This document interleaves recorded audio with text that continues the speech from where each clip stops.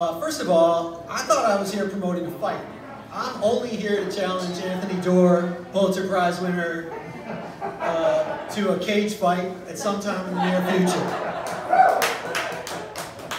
Does he have to be here in order to accept that challenge? I thought he was here, but I guess not. he's out somewhere, you know. He's, I want the strap, Anthony. He could be here all